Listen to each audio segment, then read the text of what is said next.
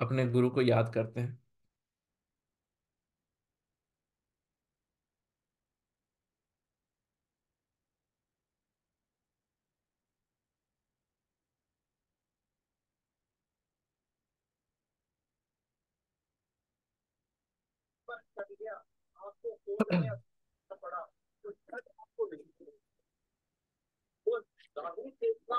करके राहु देव को शांत करा जा सकता है। राहु देव से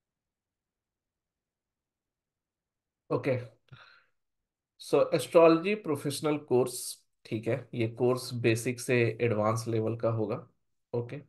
उससे पहले मैं अपने आप को इंट्रोड्यूस कर दूँ कि मेरा नाम जयंत कुमार बत्सा है और अ, मैं एस्ट्रोलॉजी न्यूमरोलॉजी ये पाम रीडिंग ये सब 2001 से कर रहा हूँ प्रोफेशनली मतलब यूट्यूब चैनल मेरा मतलब कंपनी जो है एस्ट्रोबेसिक प्राइवेट लिमिटेड ये 2016 में स्टार्ट हुई थी।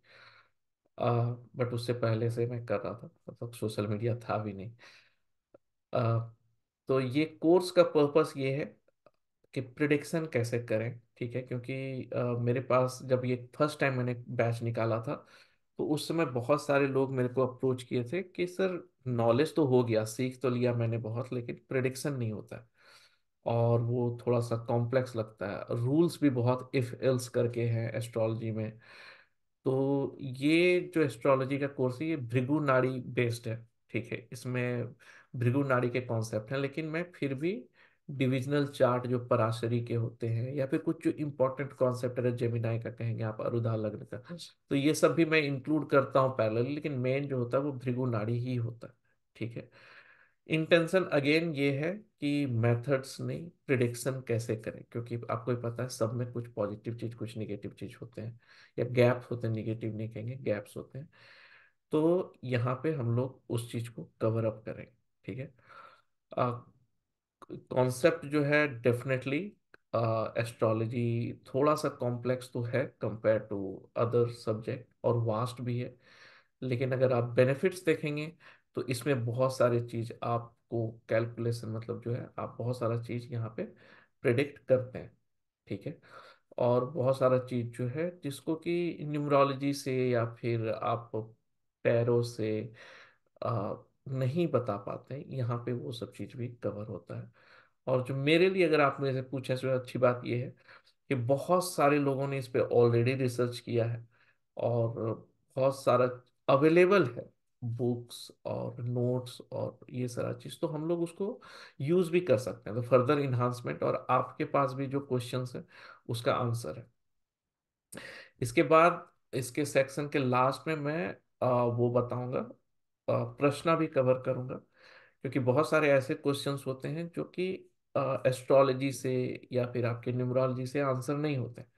जैसे अ, एक क्वेश्चन मेरे भाई ने मेरे से पूछा था कि उसने इंटरव्यू दिया और उसने तीन जगह पे उसका हो गया। अब वो पूछ रहा है, मेरे से बताओ, इसमें से बेहतर कौन होगा? ठीक है?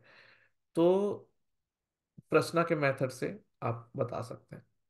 इनफैक्ट आप, जो मेथड है, उसके थ्रू एक बंदे ने मेरे से ऐसे पूछा कि, बताओ, मेरा स्कोर कितना आएगा क्लास में? मतलब ऐसे करके। तो आप वो बता सकते हैं। कुछ लोग अप्लाई करते हैं, जैसे बाहर के यूनिवर्सिटी में तो बोलते मैंने दो तीन जगह अप्लाई कर दिया एक जर्मनी का कॉलेज एक यूएस का कॉलेज एक यूके का कॉलेज कौन सा मेरे लिए सही रहे? तो ऐसे चीज़ जो है, वो प्रश्न से आंसर तो वो लास्ट में मैं बताऊँगा। रेमेडीज कवर होगा डिटेल्स में, ठीक है? एक्चुअल रेमेडीज तो जो जैसे कि आपको भी पता है कि हम लोग का जो बॉडी है, वो तीन पार्ट में है बॉडी माइंड और सोल ठीक है? तो अगर आप थोड़ा स्पिरिचुअल जाएँगे तो ये जो बॉडी है, ये हम लोगों का क्यों पैदा लिए हैं? तो कार्मिक डेप्थ चुकाने के लिए या फिर आप कह सकते हैं जो हम लोगों ने गलती की है थ्रू आउट उसको भोगने के लिए ये शरीर मिला। लेकिन सोल का जो पर्पस है वो लिबरेट होना है या फिर उसको एक तरह से दूसरे शब्दों में कहें तो उसको सारा एक्सपीरियंस लेना है इस वर्ल्ड का। ओके तो एक जन्म में तो पॉसिबल है नहीं तो इसलिए वो बहुत सारा बर्थ लेता है या फिर उसके बहुत सारे डिजायर्स होते हैं। जो अनफुलफिल्ड होते हैं।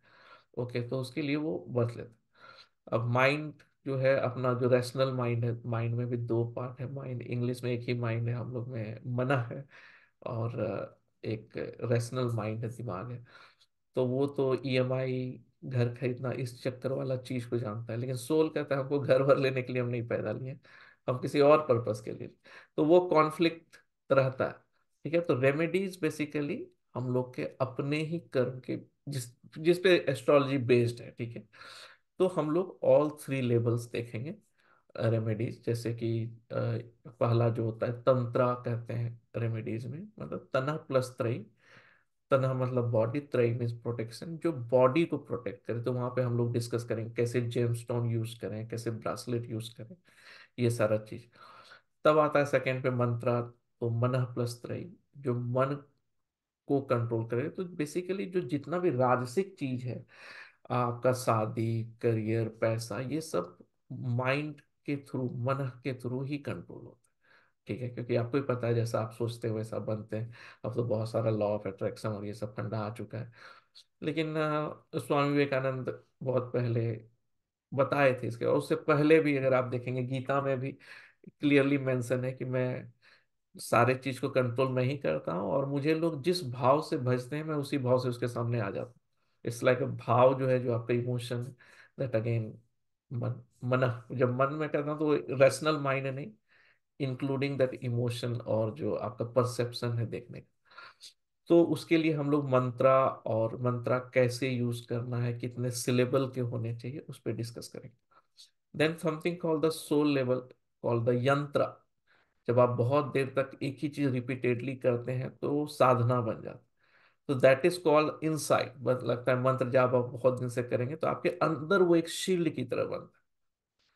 उसी यंत्र के ज्योग्राफिकल थिंग्स करके हम लोग वास्तु में यूज़ करते हैं तो वास्तु के साथ इंक्लूड करके हम लोग ये भी देंगे, क्योंकि अब स्टूडेंट कुछ लोग जैसे यहाँ पे तो सारे इंडियंस हैं, लेकिन कभी कभी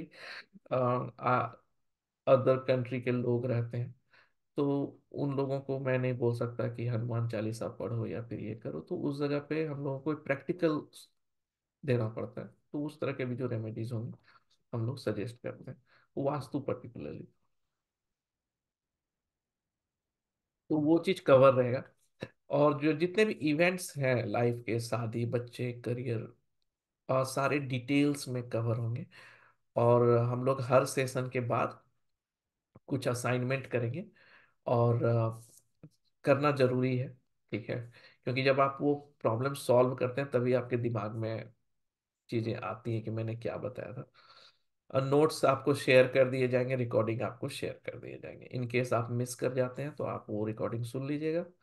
अगले सेशन में फिर आप आ करके उसका क्वेश्चन पूछ सकते हैं नहीं तो फिर ग्रुप है ही वहाँ पे आप पूछिए। और अ, इसके अलावा लास्ट में एक अ, मैं असाइनमेंट भेजूँगा वो आप कंप्लीट कर दीजिएगा फिर मैं सर्टिफिकेट रिलीज़ कर दूँगा ठीक है? मैं इसलिए सर्टिफिकेट के पहले टेस्ट लेता हूँ ताकि आप फील करें कि आप अर्न किए हैं। और अ, मेरे पिछले बैच में एक स्टूडेंट थी तो वो प्रॉपर क्लास अटेंड नहीं कर पाई उनको ट्रैवल करना पड़ रहा था तो छूट जा रहा था। तो जब ब्रेक हो जाता है तो फिर मज़ा नहीं आता है बीच बीच में। तो वो बोली कि कभी कभी मेरे को कुछ समझ में आया, कोई टॉपिक कोई टॉपिक नहीं आया। तो बोले, कोई नहीं, आप नेक्स्ट बैच ज्वाइन कर लीजिएगा या फिर आप पूछिए ग्रुप में। बोली, लेकिन जब वो क्वेश्चन पेपर में सॉल्व करना स्टार्ट की ना तो उस क्वेश्चन पेपर पे इस तरह से आपने डिज़ाइन किया है क्वेश्चन कि मेरे को फिर से रेफर करना ही पड़ा नोट्स तो वो क्वेश्चन पेपर इटसेल्फ मेरा पूरा का पूरा रिवीजन था। मैं कोई टाइम लिमिट नहीं लगाया हूँ कि नहीं आपको दो घंटे में खत्म करना या ये, मैं, मेरा इंटेंशन ये नहीं है कि आप एग्ज़ाम दें, मेरा इंटेंशन है कि आप सारे को सॉल्व करें, ठीक है? तो उससे उनका रिवीजन हो गया तो वो बोले कि नहीं, ये क्वेश्चन पेपर के कारण मेरे को नहीं, अब समझ में आ गया एस्ट्रोलॉजी गया। तो वो मैं हाईली रिकमेंड करूँगा कि आप उसको सॉल्व करें, ठीक है? वो इस तरह से डिज़ाइन है कि आपका सारा रिवीजन हो जाएगा फिर मैं सर्टिफिकेट रिलीज़ कर दूँगा और जहाँ तक मेरे को पता है कि जितने भी जॉब वाले जो साइट हैं जहाँ पे एस्ट्रोलॉजर्स हैं, सारे लोग एक्सेप्ट करते हैं सर्टिफिकेट को क्योंकि मेरे से बहुत लोगों ने मांगा और उन लोगों का एक्सेप्ट किया है जो कि मेरे स्टूडेंट थे। तो प्रॉपर वे है मतलब it's not like just certificate बांटा जा रहा है, आपने अटेंड किया है। सर्टिफिकेट आपने अर्न किया है। यू विल फील लाइक ठीक है? तो ये है और कोर्स हिंदी में ही करते हैं। सारे लोग हैं, इंग्लिश बीच बीच में यूज़ होगा तो चलेगा, नहीं तो इंग्लिश हिंदी मिक्स होगा। और आप लोग क्वेश्चन पूछ सकते हैं क्योंकि ज़्यादा लोग हैं नहीं तो आराम से पूछ सकते हैं, लेकिन मैं कंप्लीट करूँगा तो ये ओके टोके और थोड़ा सा दिक्कत क्या है कि अगर आप लोग कुछ सीख करके आए हैं, एक रिक्वेस्ट है मेरा, ठीक है, कि हो सकता है कि कुछ चीज़ आपको इनिशियली, अगर आपको आधा अधूरा पता है तो इनिशियली आपको लगे कि अरे, ये क्या बता रहे हैं आप? ऐसा तो यूट्यूब में कोई और ऐसा बोलता है, कोई वैसा बोलता है, ठीक है। तो मैं सजेस्ट करूँगा कि जब तक ये कोर्स खत्म नहीं हो रहा है, दो महीने तक एटलीस्ट एस्ट्रोलॉजी वीडियो मत देखिए, क्योंकि आपको हमेशा ये लगेगा कि वो ऐसा चीज़ किया है, वो ऐसा चीज़ किया है। मैं कह रहा हूँ कि जो मैंने बताया उसको अभी आप पकड़ के रखिए। एक बार हो जाएगा आपके लिए पूरा दुनिया है, ठीक है? क्योंकि पहला चीज़ है कि आपको सिखाना, ठीक है? एक बार आप साइकिल चलाना सीख जाइए, मैं पकड़ा हुआ हूँ पीछे से। उसके बाद आप हैंडल छोड़ के चलाइए, आगे बैठ के चलाइए, पीछे बैठ के चलाइए, क्योंकि एक बार जब आपको कमांड आ जाएगा तो आप इजीली चला सकते हैं, ठीक है? तो पहले तो मेरे को उस पार्ट पे लेके जाना, ठीक है?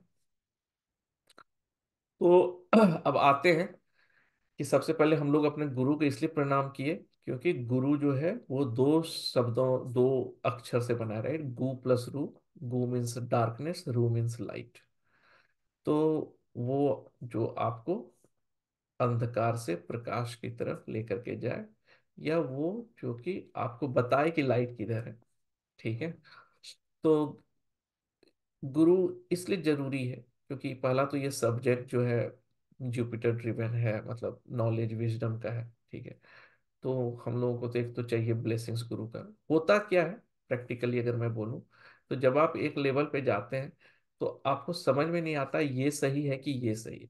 उस जगह आपको एक अननोन ब्लेसिंग्स का ज़रूरत होता है तो इसीलिए आपको गुरु चाहिए। नॉट नेसेसरी कि मैं वो गुरु हूँ ठीक है, गुरु कोई भी हो सकता है आपके, जिसको भी आप मानते हैं, इष्ट मानते हैं, mummy, papa friend boyfriend girlfriend husband wife कोई भी हो सकता है, ठीक है? लेकिन फिर भी गुरु ऐसा होना चाहिए, जिसको कि मिल करके आपको फील हो कि नहीं, ये थोड़ा सा मेरे जैसा है, ठीक है? एक एक ये नेचुरल चीज़ होता है।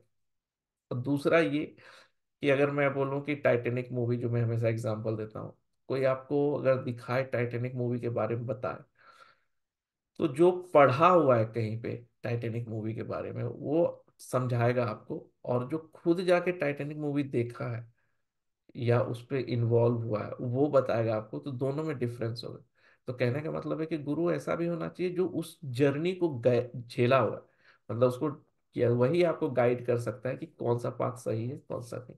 क्योंकि जो ऊपर ऊपर देखा है, वो आपको गाइड नहीं कर सकता। ठीक है तो वो भी होना चाहिए।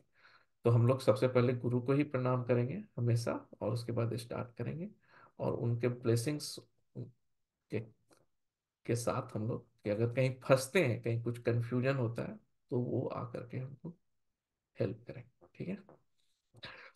आ, तो स्टार्ट करते हैं। जो लोग यूट्यूब पे देख रहे हैं वो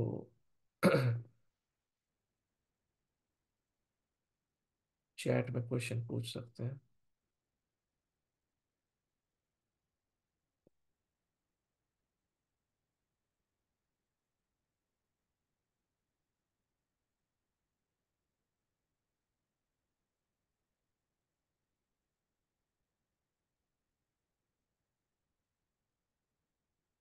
तो एस्ट्रोलॉजी को समझना है, ठीक है? तो हम लोगों के पास जो है मेनली इतने चीज़ हम लोगों को पता होना चाहिए। बिफोर प्रिडिक्शन इतने सारे चीज़ है।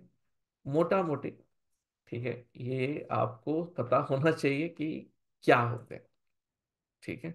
एक बार अगर आपको ये पता चल गया तो आप फिर आराम से उसके साथ प्ले कर सकते हैं, ओके? तो ये जो बॉक्स है, इसको कुंडली कहते हैं, इसको हॉरोस्कोप कहते हैं, ओके? इसमें ये सारे बॉक्सेस बने हुए और ये सब नंबर्स दिए हुए ठीक है? तो कोई भी सॉफ्टवेयर जो लोग कोर्स में इनरोल किए हैं, मैं उनको अपने सॉफ्टवेयर का एक्सेस दे दूँगा। वो जो भी न्यूमरीसॉफ्ट जो है अपना सॉफ्टवेयर उसको ही हम लोग यूज़ करेंगे। और उसमें बहुत सारी चीज़ जो है, जैसे एस्पेक्ट्स हैं स्ट्रेंथ है, ये सब चीज़ ऑलरेडी कैलकुलेटेड है तो हम लोगों को आसान होगा समझने में। और उसमें भृगु नाड़ी का चार्ट भी बन करके आता है तो भी वो आसान होगा हम लोगों को समझने के लिए। ओके? तो जब भी आप किसी भी सॉफ्टवेयर में तीन चीज़ आप डालते हैं, डेट ऑफ़ बर्थ, टाइम और प्लेस, ये तीन चीज़ रहेगा, ठीक है? वो सॉफ्टवेयर में आपको दिख जाएगा। मैं अभी दिखाऊँगा अभी करके। तो ये चार्ट बन करके आता है, ओके? अब इसमें से देखिए हम लोगों को क्या जानना है? बारह हाउसेस ठीक है? तो ये जो बॉक्सेस हैं, ये सारे को हाउस कहते हैं, ठीक है? ये हर एक किसी का भी आप चार्ट बनाएँगे तो वही बारह हाउसेस बन करके आएँगे। ओके? बारह जॉडियक साइन, ये जो नंबरिंग्स है one two three four five six ये जो नंबर्स हैं, ये जॉडियक साइन के नंबर है। ओके। अब ये नाइन प्लैनेट्स या आप ट्वेल्व प्लैनेट्स कह सकते हैं। तीन एडिशनल प्लैनेट भी है बट हम लोग नाइन प्लैनेट्स ही मेन लेकर के चलते हैं। वो नेपच्यून प्लूटो यूरेनस उसको अभी नहीं कंसीडर करते हैं फ्रिक्वेंटली बट हम लोग करते हैं, लेकिन फ्रिक्वेंटली नहीं करते हैं। तो ये नाइन प्लैनेट्स जो है हमारे, ये सब है sun moon Venus Mars Mercury Rahu, Ketu, ये सब जो है। अब आता है प्लैनेट एस्पेक्ट पे, क्योंकि हर एक प्लैनेट किसी और प्लैनेट या हाउस को इन्फ्लुएंस करता है अपना दृष्टि से एस्पेक्ट से। वो जहाँ पे भी बैठा है, वहाँ से वो किसी और घर को देख लेता है, किसी और प्लैनेट को देख लेता है। तो लोग, उसका जो प्रभाव है, वो थोड़ा आगे या पीछे हो जाता है, ठीक है? जब उसका प्रभाव आगे या पीछे हो जाता है तो उसका जो स्ट्रेंथ है, वो वेरी कर जाता है। ठीक है? तो हम लोगों को स्ट्रेंथ में, ये जो प्लैनेट का एस्पेक्ट है, अगर आप लोग बहुत ही बिगिनर लेवल पे हैं तो यहीं पे सबसे ज़्यादा कंफ्यूजन स्टार्ट होता है। प्लैनेट का स्ट्रेंथ ठीक है? ये हम लोगों को बताता है कि प्लैनेट कितना स्ट्रांग है, और वो जो प्रॉमिस कर रहा है वो क्या प्रॉमिस कर रहा है? ठीक है? फिर आता है रेट्रोग्रेड ये कॉन्सेप्ट है कॉम्प्लेक्स नहीं है। कुछ कुछ प्लैनेट के ब्रैकेट में आर लिखा रहेगा। जैसे ये सब है तो ये सब रेट्रोग्रेड है। तो समझ लीजिए थोड़ी देर के लिए कि कुछ पिछले जन्म का कर्मा भी बचा हुआ है तो उसको थोड़ा सा लाइफ में स्टेबिलिटी उस एरिया में आने में दिक्कत होता है इनिशियली कंबस्ट सन का लाइट बहुत ज़्यादा रहता है, कोई भी प्लैनेट जब उसके बहुत क्लोज आ जाता है तो उसका लाइट सन के लाइट के अंदर दिखता नहीं है। जैसे कि पूरे दोपहर में आप एक दिया जला दें तो आपको दीपक नहीं दिखता है। तो क्योंकि सन का लाइट इतना ज़्यादा रहता है तो उसी तरह दूसरे प्लैनेट का जो स्ट्रेंथ है वो थोड़ा सा घट जाता है और एक कॉन्सेप्ट है एक्सचेंज ऑफ़ प्लैनेट्स जो हम लोग डिस्कस करेंगे, जब एक दूसरे के जॉडियक साइन में लोग, प्लैनेट रहते हैं तो ये रहता है। एक बार हम लोग ये समझ जाएँगे तो फिर हम लोगों को इसी का यूज़ करके प्रिडिक्शन करना है। तो हम लोग एक एक करके इस चीज़ को समझेंगे। कोई दिक्कत यहाँ तक? ओके।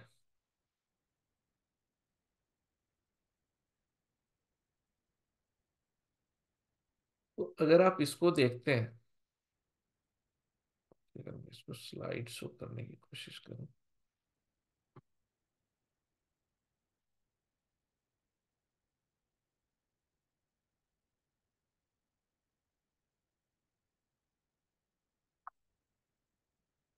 आप अगर देखें, अगर हम लोग अर्थ को सेंटर मान के चलें यूजुअली हम लोग क्या करते हैं, सन को सेंटर मानते हैं, उसका सोलर सिस्टम होता है, राइट?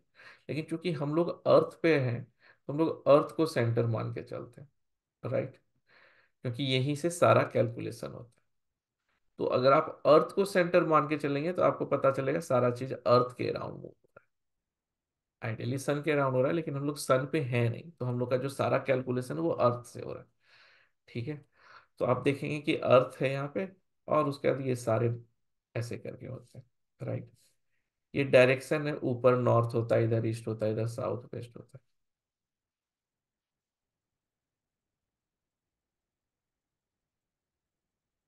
अब अगर आप गौर से देखेंगे तो हम लोगों ने क्या किया कि इस अर्थ को वर्चुअली जो है बारह पार्ट में डिवाइड कर दिया। ठीक है? तो टोटल अगर स्काई के डिवीज़न को ट्वेल्व इक्वल पार्ट में कर दें तो टोटल कितने होते हैं? थ्री सिक्सटी डिग्री होते हैं। अगर आप ट्वेल्व से डिवाइड कर देंगे तो हर एक पार्ट जो है थर्टी डिग्री का आ जाएगा। तो आप ये वर्चुअल डिवीज़न ऐसा कोई डिवीज़न नहीं है स्काई में, लेकिन अगर वर्चुअली देखा जाए, अगर बारह पार्ट में तो ये एक एक पार्ट आ जाती है। इसी को हम लोग जॉडियक साइन कहते हैं। ठीक है? तो अगर स्काई के वर्चुअल डिवीज़न को अगर हम कहें तो वो उसको हम लोग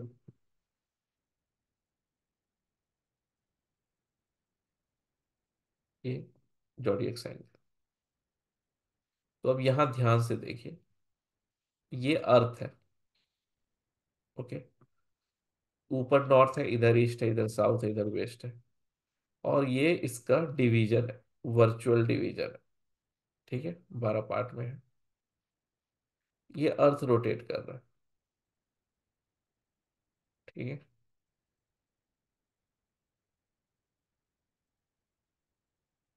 और ये जो स्काई का जो डिवीज़न है, ये जॉडियक साइन ये सब नेम है जॉडियक साइन के। Aries Taurus Gemini Cancer Leo ऐसे करके। अब इसी डिवीज़न में कहीं ना कहीं प्लैनेट्स भी अवेलेबल है। तो हम लोग क्या कहते हैं कि मरकरी एरीज में है, जुपिटर टॉरस में है है ना? सॉरी, ये मरकरी टॉरस में है, जुपिटर टॉरस। जिस डिवीज़न में जो भी प्लैनेट है तो हम लोग कहते हैं उस जॉडियक साइन में। ये चंद्रमा और मंगल जो है, लियो में है, सन यहाँ स्कॉर्पियो में है, ऐसे करके हम लोग जब कोई अगर एक्चुअल टेलीस्कोप से देखे तो उसको पता चलता है कि ये प्लैनेट उस जगह पे अर्थ रोटेट हो रहा है। लेकिन एक्चुअल में क्या होता है कि हम लोग अर्थ पे ही हैं तो हम लोग अर्थ को स्टैटिक बना देते हैं और फिर स्काई को ही रोटेट कर देता है। बस। अब अगर आप गौर से देखिएगा, मैंने क्या किया? चेंज किया। ये ऊपर ईस्ट है, नीचे वेस्ट है, इधर नॉर्थ और साउथ है। डायरेक्शन ही केवल चेंज किया समझने के लिए। तो मान लिया जाए, अगर आप पीछे वाले पे जाते हैं तो ये स्काई का डिवीज़न है। ठीक है? एरीज टॉरस जेमिनी ये करके। और ये जॉडियक साइन है, ये अर्थ है। अब अर्थ को भी इक्वली डिवाइड किया गया, ट्वेल्व पार्ट में। यहाँ पहले मैंने क्या किया? स्काई को डिवाइड किया, आकाश को डिवाइड किया। अब यहाँ पे अर्थ का जो, अर्थ भी सर्कुलर मान के चलते हैं तो उसको डिवाइड किया। तो आप देखेंगे ये डिवीज़न है। अर्थ का जो डिवीज़न है, वो हाउस है। स्काई का जो डिवीज़न है, वो जॉडियक साइन ओके?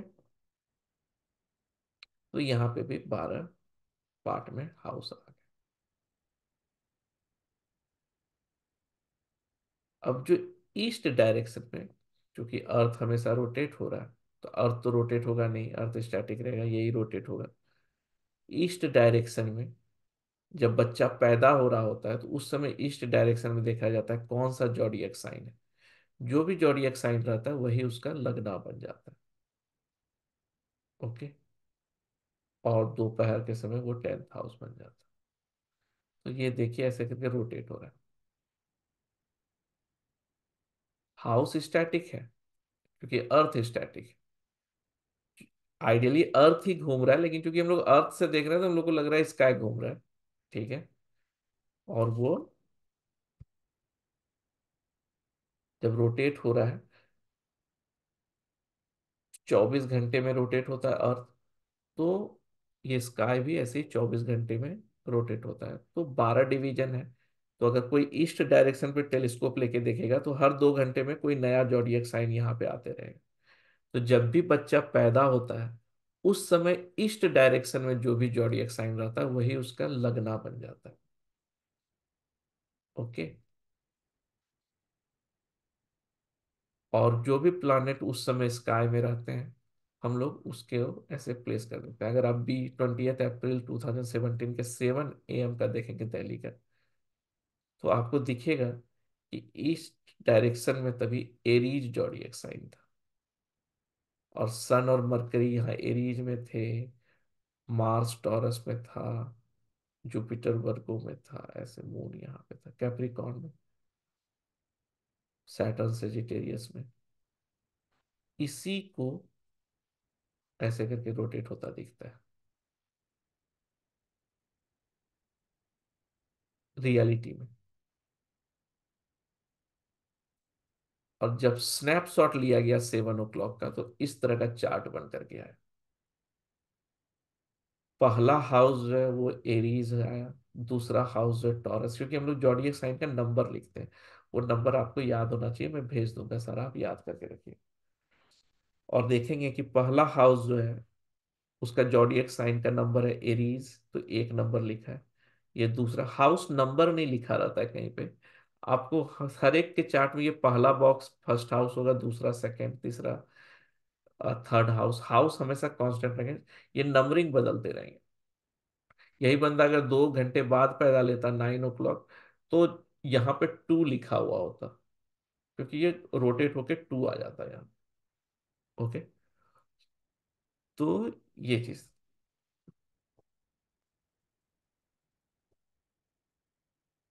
तो एक्चुअली इसी को हम लोगों ने इस तरह से स्नैपशॉट लिया। तो ऐसा छह नंबर वर्गो पे जो है, वर्गो का जोडिएक साइन छह है, यहाँ पे जुपिटर आ गया।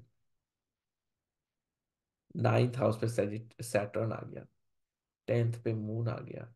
इलेवेंथ पे केतु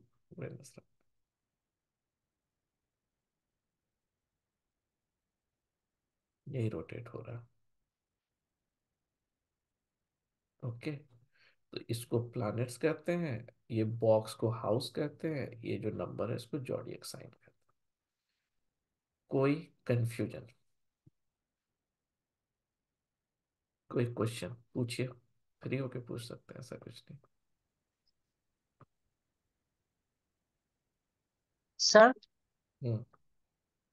सर ये डेट जो रहता है जैसे एडीज हो गया एक मार्च इक्कीस से अप्रैल उन्नीस तक रहता है जो इसके बीच में जितना भी बर्थ होता है तो ये साइन ये आएगा राशि ये आएगा ये लग्न के हिसाब से आएगा। हाँ वो मैं बताता हूँ आपको। जी अ, जो चैट पे पूछ रहे हैं डी के बोस। अ, जी आप ज्वाइन कर सकते हैं। अ, आपको मैं लिंक आप मुझे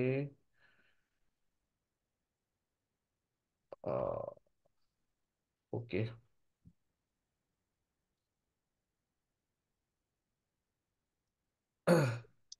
आपको मैं वेबसाइट का लिंक दे देता हूँ, आप वहाँ पे जा करके रजिस्टर कर सकते हैं।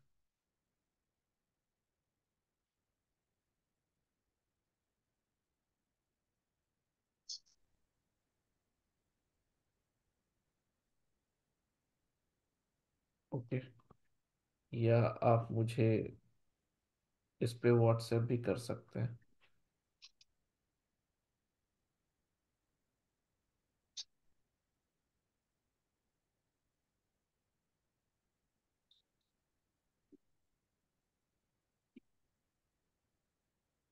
आप इस पे व्हाट्सएप कीजिए तो मैं जवाब दे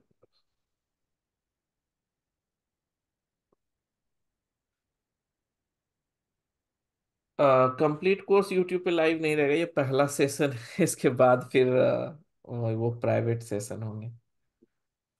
ओके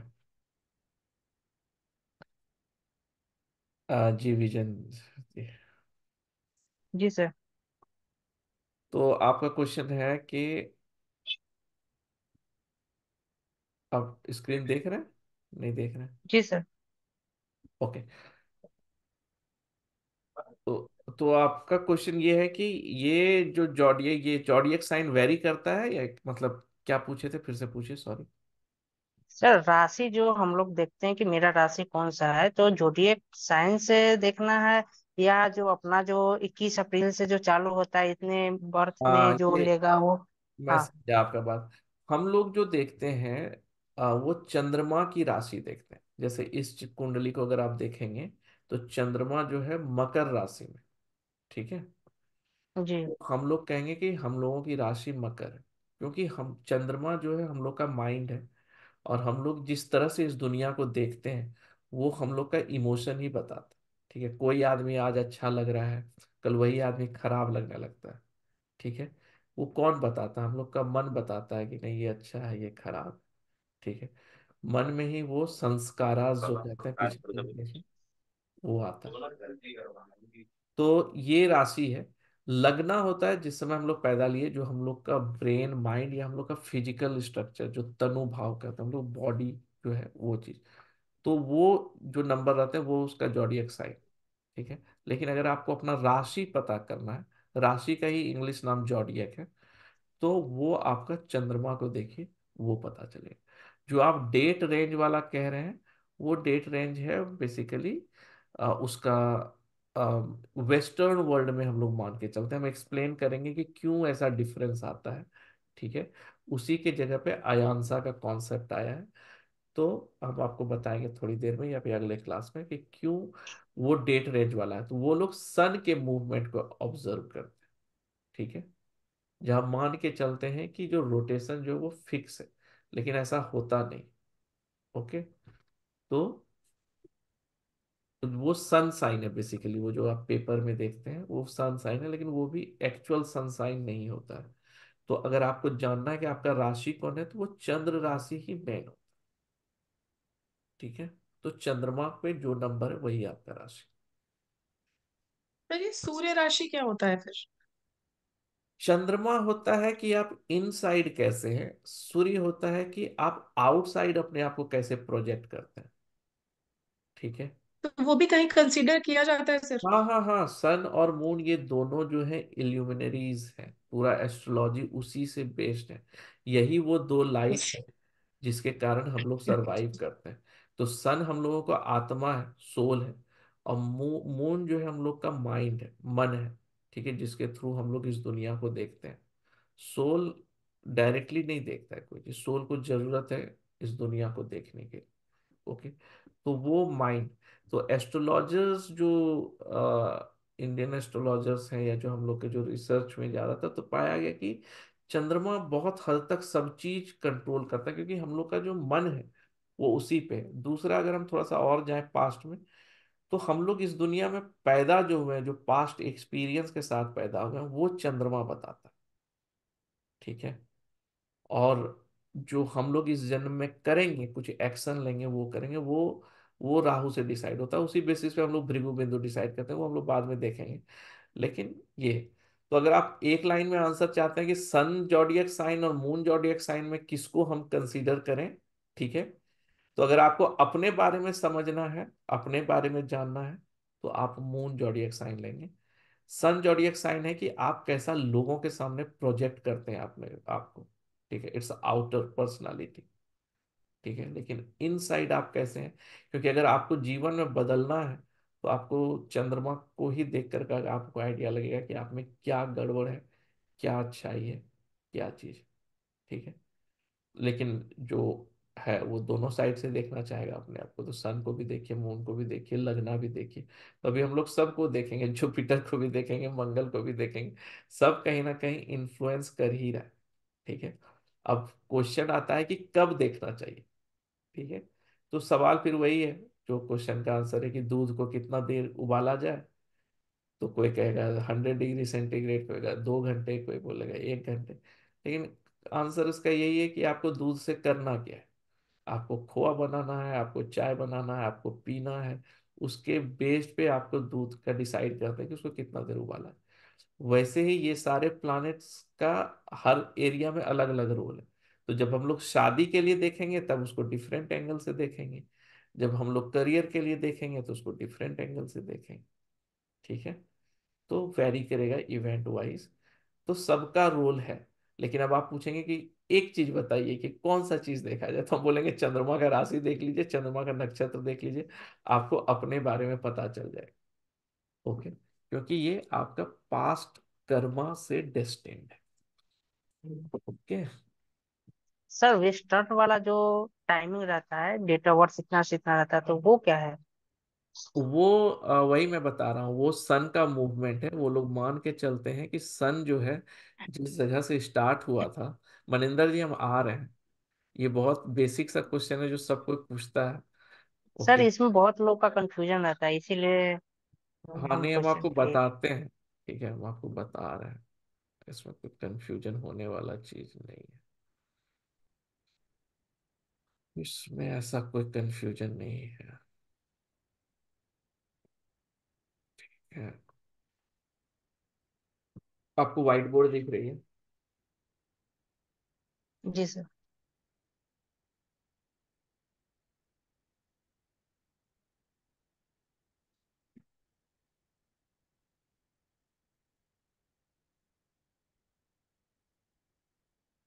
एक्चुअली क्या है? यहाँ पे सन है राइट और ये अर्थ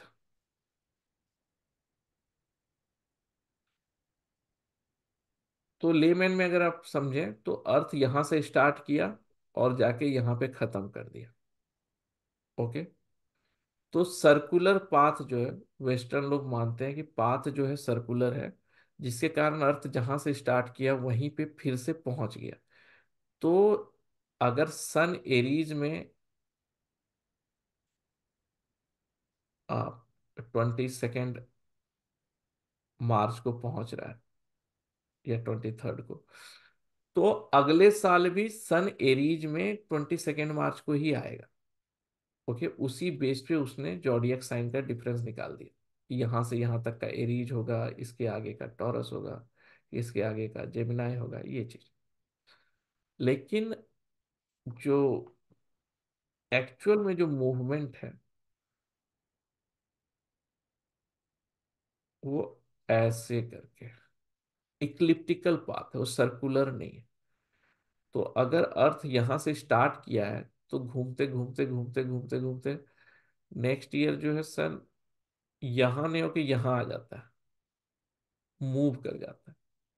तो हर समय जो डिफरेंस है सन का, हर साल लगभग सत्तर मिनट्स का डिफरेंस रहता है। ओके?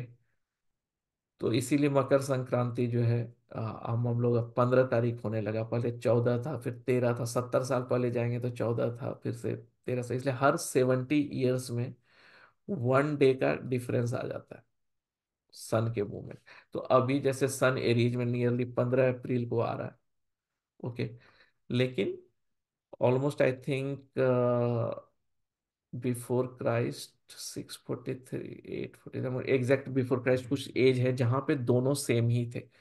ठीक है? तो ये। तो सन का एक्चुअल मूवमेंट कौन सा है? वो डेड रेंज वाला लें या ये लें? तो हम लोग इक्लिप्टिकल ही लेते हैं। इसीलिए जो अभी जो एक्चुअल सन जो एरीज में जाता है, वो पंद्रह अप्रैल को है। लेकिन वो लोग मान के चलते हैं कि ट्वेंटी सेकेंड मार्च में ही हर साल सन एरीज में जाए। लेकिन सत्तर साल के आसपास जाएँगे तो देखेंगे फिर ये सोलह अप्रैल आ जाएगा सन का जो पोजिशन तो वो रोटेट जो पाथ है, वो सर्कुलर ना होके ऐसे करके। ओके। सेंस बना कुछ समझे या, या बाउंस करिए। सर तो हमें कौन सा लेना है? मतलब ये वाला या वो वाला देख? आप अगर एस्ट्रोलॉजी कर रहे हैं तो आप जी। अ, यही वाला लेंगे वो पेपर वाला नहीं लेंगे क्योंकि वो सन का एक्चुअल पोजीशन नहीं है। ठीक है?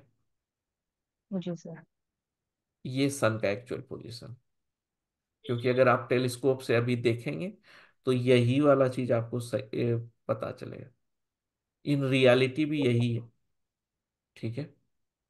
आकाश में सन का जो पोजीशन अभी है वो यही जो हम लोग लेते हैं वो एक्चुअल पोजीशन लेते सर वो तो वेस्टर्न एस्ट्रोलॉजी वाले भी बोलते होंगे कि एक्चुअल वही है उनका। नहीं, वो बोलते हैं लेकिन है नहीं। वो लोग को खुद ही उनका ही एस्ट्रोलॉजर कहता है जब टेलीस्कोप लगा के देख रहे हैं तो वो वहाँ पे नहीं दिख रहा है सन।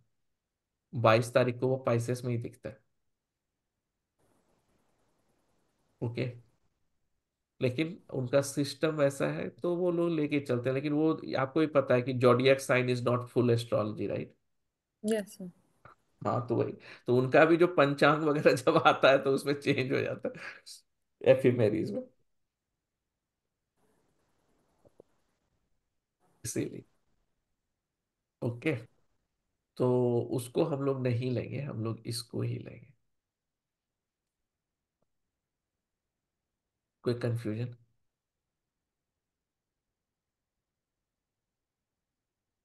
ओके मनिंदर जी आपका क्वेश्चन क्या था? Sir actually I have got a different type of doubt while studying B N N zodiac is 360 degrees and it is round but in practical, the shape of the earth is elliptical. Hmm Our 30 degrees doesn't coincide with the 30 degrees of zodiac. हाँ But BNN is totally based on the same uh, approach. So, वो BNN नहीं वो what extent we justify this, sir? KP का जो concept है Uh, Placidial concept, I have read, I have gone through all that. तो वहाँ पे KP को जब मैं ट्राइन लूँगा तो आई थिंक मैं थोड़ा एडवांस क्वेश्चन पूछ रहा हूँ बट देन तो KP is justified other than BNN approach नहीं बिकॉज़ वो इलेक्ट्रिकल शेप प्लासिडियस सिस्टम जो है ओके केपी ने वाला मेथड में क्या हुआ? टीएस राइट ये क्या कह रहा है कि वो थर्टी डिग्री ठीक है ठीक है उसका कोई दिक्कत नहीं है। जैसे ये इसका ये अर्थ है ठीक है? ध्यान से समझने की कोशिश कीजिएगा। वो सिस्टम अलग नहीं कह रहा है वो सेम ही चीज़ कह रहा है। वो क्या कह रहा है कि अगर ये मान लीजिए ये स्काई है इसको आपने बारह पार्ट पे डिवाइड कर दिया। तो जॉडियक साइन तो हो गया थर्टी डिग्री, क्योंकि three sixty divided by twelve कर दें तो थर्टी डिग्री हो गया। ये इसमें जॉडियक साइन में कोई दिक्कत नहीं, क्योंकि ये स्काई का डिवीज़न है। जब हम लोग हाउस के डिवीज़न को लेते हैं तो हम लोग अर्थ को लेते हैं, ये अर्थ है। इसको डिवाइड करते हैं। अगर आप इक्वेटर से देखते हैं सेंटर से देखते हैं तो आपको जो बारह थर्टी डिग्री का जो डिवीज़न मिलेगा वो एग्जैक्टली exactly सेम मिलेगा थर्टी डिग्री ही मिलेगा। जैसे जैसे आप ऊपर जाने लगेंगे या जैसे जैसे आप नीचे जाने लगेंगे इक्वेटर्स ठीक है मतलब जो आपका एग्जैक्टली exactly. तो वो थर्टी डिग्री और ये कंसाइन नहीं करेंगे। ये कंसाइन नहीं करेंगे। एग्जैक्टली बट बीएनएन इसी पे पूरा बेस्ड है because we say thirty degrees are planet is in this particular rashi from the point of where I am standing on earth but फिर वो मैच नहीं करते सर ये बता रहे बता रहे बता रहे ठीक है। आ रहे हैं हमको कंप्लीट करने दीजिए हम समझ गए आपका क्वेश्चन तो क्या हो रहा है कि ये हाउस का जो है डिवीज़न होगा वो फिर इक्वल नहीं रह जाता है ठीक है? तो अब दो चीज़ आते हैं कि जब आप प्रिडिक्शन करते हैं ध्यान से समझिएगा जब आप प्रिडिक्शन करते हैं बहुत अच्छा क्वेश्चन आपने पूछा। तो हम लोग कुछ ना कुछ तो रेफरेंस लेते हैं। ओके रेफरेंस लेते हैं कि या तो आप हाउस को इंपॉर्टेंस देंगे, या तो आप साइन को इंपॉर्टेंस देंगे। साइन प्लैनेट्स जब हम लोग भृगु नाड़ी करते हैं तो हम लोग साइन एंड प्लैनेट्स को इंपॉर्टेंस देते हैं। हम लोग इसको कारकत्वास जो है सिग्निफिकेटर्स जो है उसके बेसिस पे हम लोग आंसर करते हैं। लेकिन अगर आप केपी सिस्टम फॉलो करेंगे या फिर परासरी सिस्टम फॉलो करेंगे तो वहाँ पे आपका जो डिविजनल चार्ट्स है ठीक है तो वो based on the houses houses ठीक है तो हम लोग वहाँ पे हाउस के रेफरेंस में उस पर हम लोग वो करते हैं ठीक है। अब आता है कि तो फिर क्या हम लोग यहाँ पे हाउस यूज़ नहीं करते हैं। नहीं यहाँ पे करते हैं बट प्रायोरिटी इसको दिया है। तो प्रिडिक्शन इतना सिस्टम में तो डिफरेंस क्या है? अब ये क्वेश्चन आता है है ना? तो डिफरेंस ये है कि हाउस जो है हम लोगों का एरिया ऑफ़ लाइफ बताता है कि लाइफ के इवेंट क्या है। फाइनल थप्पा जो है क्वालिटी जो है उस चीज़ का वो बताया जाता है। कि वो प्लानेट जो उसका सिग्निफिकेटर है वो कैसा ठीक है? तो इसीलिए अगर आपको एरिया ऑफ़ लाइफ जानना है कि उसका कैसा सफरिंग है क्या है कौन सा चीज़ है तो वो हाउस बता देगा क्योंकि वो हाउस उस लाइफ के इवेंट्स को ट्रिगर कर ओके तो जब हम लोग हाउस बेसिस पे प्रिडिक्शन करते हैं तो हम लोग इसके प्लानेट के कारकत्व को उतना इंपॉर्टेंस नहीं देते हैं। हम लोग बस हाउस के कॉम्बिनेशन हाउस पे ही ज़्यादा फोकस करते हैं जिसपे केपी बेस्ड राइट लेकिन जब अगर आप लोग प्लानेट के उस चीज़ पे जाते हैं तो ये राशीज बिल्कुल। बस सर यही एक डाउट था जैसे अब जब अर्थ इज़ इलिप्टिकल तो जो थर्टी डिग्रीज मेरी बॉडी से यहाँ से रेज निकल रही है अर्थ का और फिर जोडियक तक जा रही है तो फिर थर्टी कोइंसाइड करेंगी कि नहीं करेंगी? वो भी तो राशि में फ़र्क दिखा सकता है कि एरीज से टॉरस में आ गया। हाउस आपको लग रहा अर्थ से वो एरीज है पर एक्चुअल में थोड़ा सा टॉरस की तरफ़ चला गया because of the shape of the earth हाँ वो चला जाएगा। तो इसीलिए कहते हैं जो हम लोग जो चार्ट बनाते हैं वो राशि चार्ट बनाते हैं जिसको लगना चार्ट कहते हैं। ठीक है उसको लगना चार्ट कहते हैं। और जो आप जो कह रहे हैं उसको भाव चार्ट कहते हैं। ठीक है? भावा चार्ट कहते हैं। भाव मीन्स हाउस ओके तो अगर हम लोग हाउस के बेस पे प्रिडिक्शन कर रहे हैं तो हम लोग इस चार्ट को रेफरेंस लें। अगर हम लोग प्लानिट और जॉडियक साइन के बेस पे प्रिडिक्शन कर रहे हैं तो हम लोग ये चार्ट ठीक है? सर थैंक यू ओके और जैसे जैसे आप देखेंगे आप डिफरेंस करना सीख जाएँगे इसमें कोई बड़ी बात नहीं है। और कोई क्वेश्चन सर बीएनएन इटसेल्फ एक पूरी साइंस है प्रिडिक्शन के लिए। हम्म जैसे अ, वैदिक एस्ट्रोलॉजी जब हम पढ़ते हैं तो बहुत ज़्यादा डीप साइंस है उसके अंदर हम नक्षत्रास और अ, हम बहुत सारी चीज़ें कंसिडर करते हैं। तो भृगु से हम इजीली प्रिडिक्शन कर पाएँगे? हाँ ये कंपैरेटिवली इजी है और चूँकि यहाँ हम लोग कारकत और इसको लेकर के चलते हैं तो आपको आंसर जो है प्रिडिक्शन जो है इससे आपका हो जाता है ठीक है? और जहाँ पे हम लोग महादशा अंतरदशा के बजाय ट्रांजिट पे इंपॉर्टेंस देते हैं प्लानिट की डिग्री पे इंपॉर्टेंस देते हैं। ठीक है? लेकिन मैं फिर भी उसको और प्रिसाइज करने के लिए मैंने डिविजनल चार्ट्स को यूज़ किया है, ठीक है? जब हम लोग ताकि आपका जो एक्यूरेसी है और बढ़ जाए। मैं आपको दोनों मेथड दिखा दूँगा, ठीक है? विदाउट अगर आपके पास टाइम ऑफ़ बर्थ नहीं है तो फिर आप कैसे प्रिडिक्ट करते हैं? अगर आपके पास टाइम ऑफ़ बर्थ है तो आप कैसे प्रिडिक्ट करते हैं, ठीक है? नक्षत्रा जो है, जब हम पर्टिकुलरली फाइनेंस देखेंगे या फिर करियर या रेमेडीज देखेंगे तो वहाँ पे हल्का मैं नक्षत्रा इंक्लूड करता हूँ। लेकिन मेरा जो बेस है, वो बी एन एन ही रहेगा ओके क्योंकि वो इजी टू डू प्रिडिक्शन है और एक्यूरेसी भी ज़्यादा, इसीलिए। क्योंकि टाइम का दिक्कत नहीं होता वहाँ पे तो इसीलिए हम लोग प्रिडिक्ट कर सकते अब क्वेश्चन आता है कि कुछ चीज़ है, जैसे कि कोई ट्विन बर्थ है, ठीक है? छह मिनट के डिफरेंस पे है। तो उस जगह पे आपको थोड़ा सा प्रिसाइज मेथड चाहिए होता है। ओके उस जगह पे आपका टाइम ऑफ़ बर्थ बहुत सेंसिटिव होता है तो जो कि थोड़ा कस्प के लेवल पे होता है डिविजनल चार्ट्स वेरी कर जाते हैं। ओके तो वहाँ डेफिनेटली उस सिनारियो में आपको चाहिए होता है एक्यूरेट टाइम ऑफ़ बर्थ वहाँ पे आप जस्ट प्लानेट लेवल पे, क्योंकि छः मिनट में तो आपको लगेगा कोई प्लानेट ही नहीं बदला। तो वहाँ पे हम लोगों को हाउस में जो डिफरेंस आता है, जो कस्प में जो डिफरेंस आते हैं, उसके डिग्री में, उसके सब लॉट में, वो हम लोगों को चेक करना पड़ता है, ठीक है? तो वो, ये थोड़ा सा गैप हो सकता है, बट अदरवाइज़ ये चीज़। तो कोई नहीं तो आपका जो जो गैप है ना, वो गैप को हाईलाइट करके उसका अल्टरनेटिव मैं इसमें इंक्लूड किया हो तो आपको एंड ऑफ़ द डे आप प्रिडिक्शन कर पाएँगे। रेफरेंस हम बीएनएन का ले रहे हैं। ठीक है ये नहीं कि आपको टच ही नहीं करने देंगे दूसरा चीज़ नहीं उधर देखो मत ऐसा नहीं है। जो गैप है उसको हम लोग अल्टरनेटली फिल करेंगे।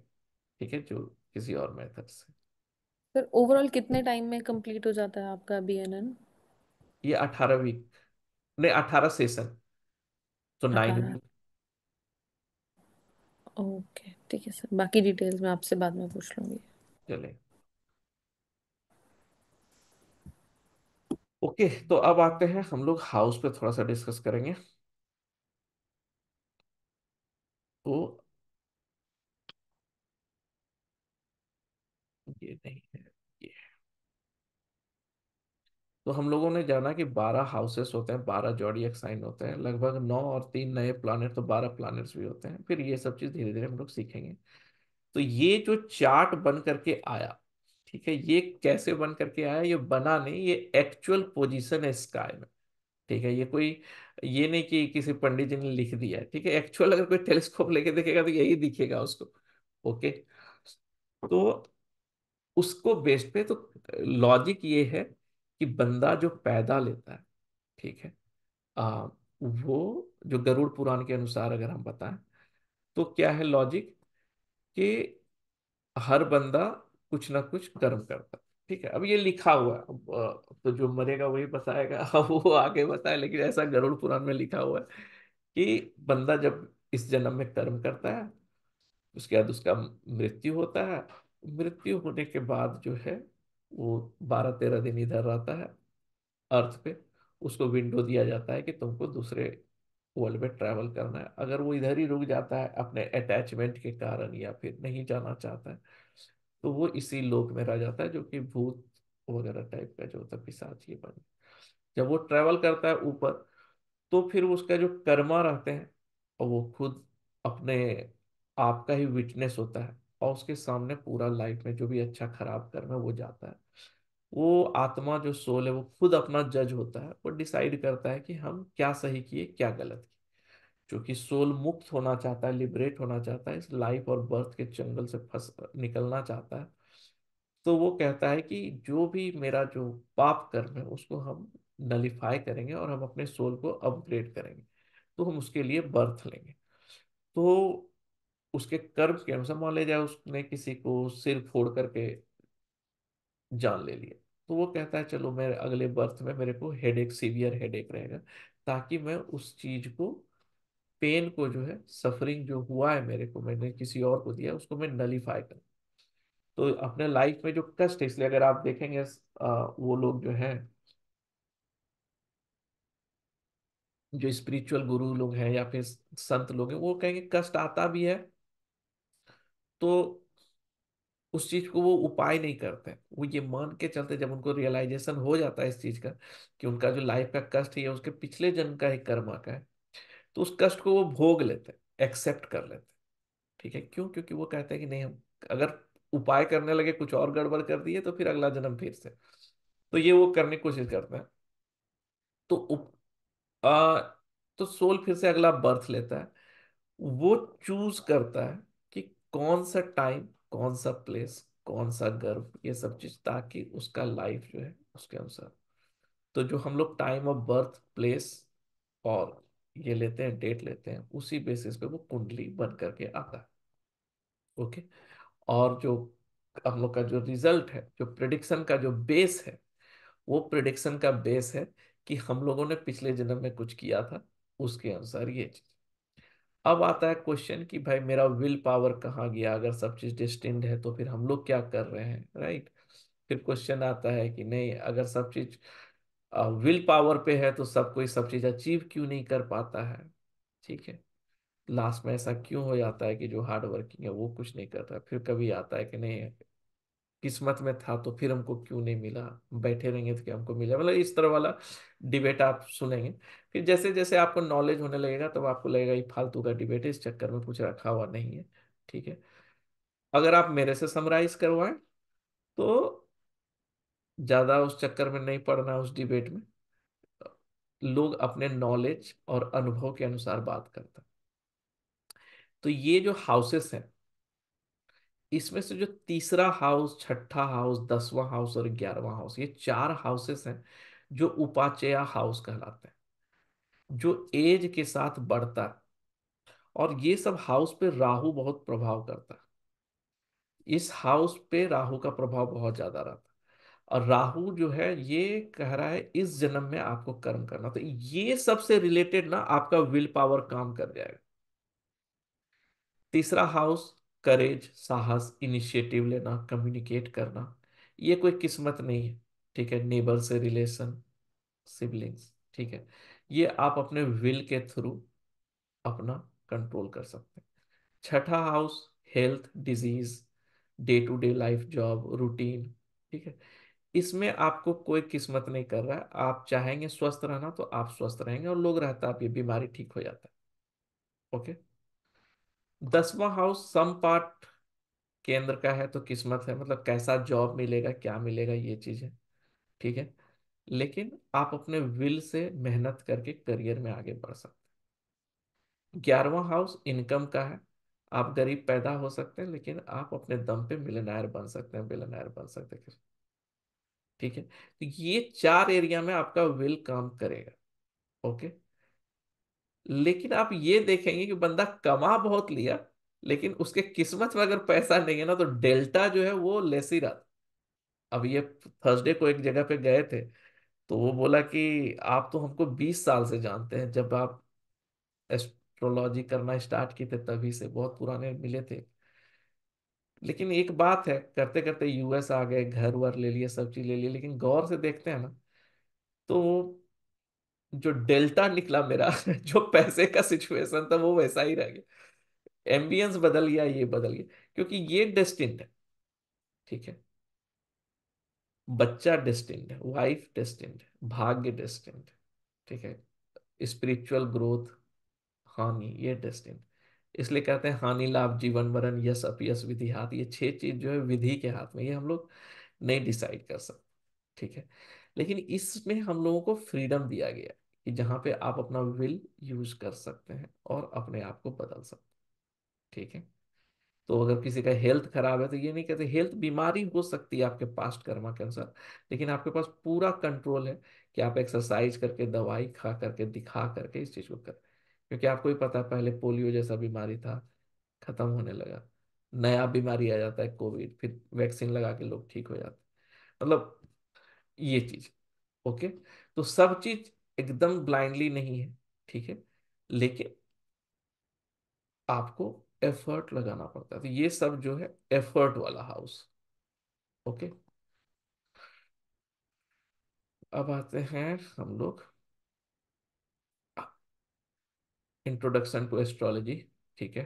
तो ऑक्सफोर्ड डिक्शनरी में अगर आप देखेंगे तो एस्ट्रोलॉजी क्या है? Study of movements and relative position of the celestial bodies interpreted as having an influence on human affairs and the natural world ये कह रहा है कि डिक्शनरी में डिफिनेशन ऐसा दिया हुआ है कि जो ये आकाशीय पिंड जो है प्लैनेट्स नक्षत्र कॉन्स्टलेशन जॉडियक ये ह्यूमन अफेयर्स पे और वर्ल्ड पे असर करते हैं। उसी से रिलेटेड स्टडीज़ एस्ट्रोलॉजी में होता है। लेकिन अगर संस्कृत में देखेंगे तो ये ज्योतिष है। ज्योति प्लस ईश, भगवान का लाइट, ठीक है? लाइट फ्रॉम गॉड या फिर लाइट ऑफ़ गॉड, ठीक है? तो ये वेदास से लिए गए, ठीक है? तो वेदास जो सबसे पुराने हिंदू स्क्रिप्चर्स हैं, कहाँ से आए, किसने लिखा, किसी को नहीं पता। कुछ लोग कहते हैं, ये ह्यूमन के लिए पॉसिबल नहीं है ऐसा लिखना।